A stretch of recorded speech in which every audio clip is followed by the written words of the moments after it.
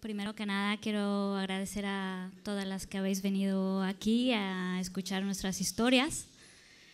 Eh, y bueno, voy a empezar con la mía.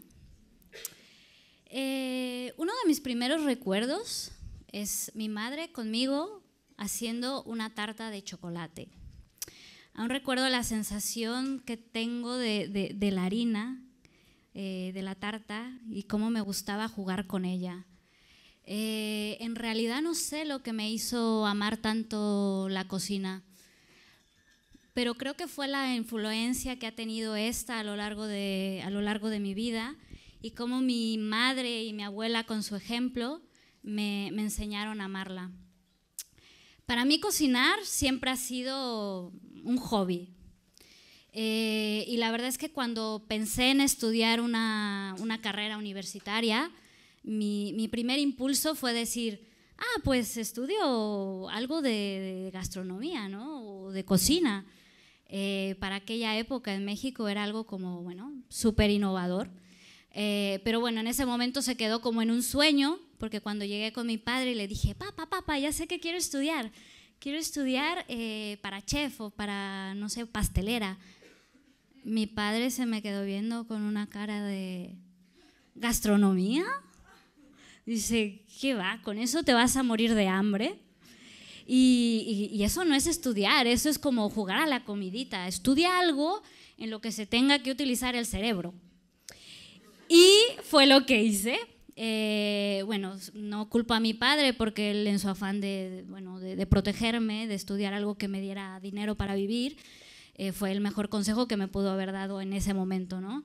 Entonces eh, elegí estudiar ingeniería química.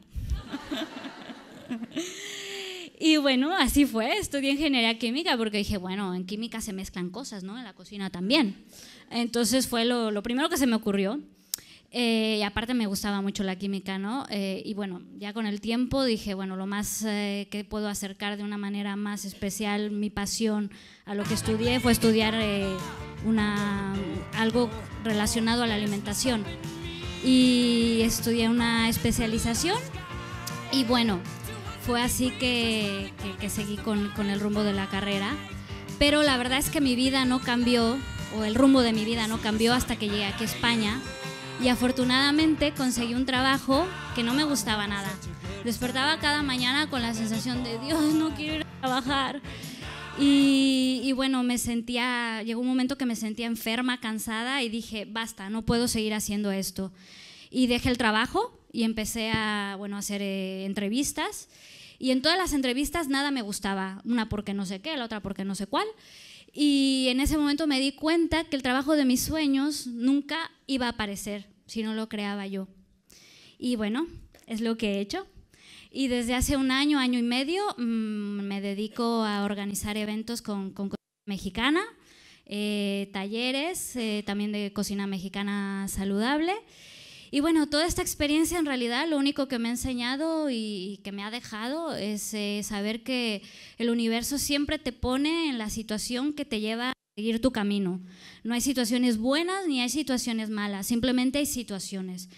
Creo que lo importante es saber confiar y, saber que, el universo te va a abrir las puertas. Y bueno, gracias a que escuché esa voz, ahora cada mañana puedo despertarme con una gran sonrisa y sintiendo que, hago lo, que me gusta hacer y para lo que vine a, pues, a este mundo. Gracias.